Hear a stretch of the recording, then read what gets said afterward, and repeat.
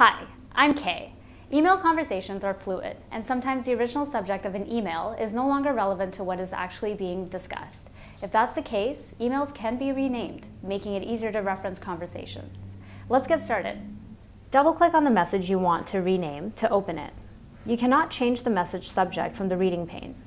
Click anywhere on the subject line and press Ctrl-A to select the entire subject line. You can now type in your new subject. Click the Save icon in the top left corner of the message window, and then close the message.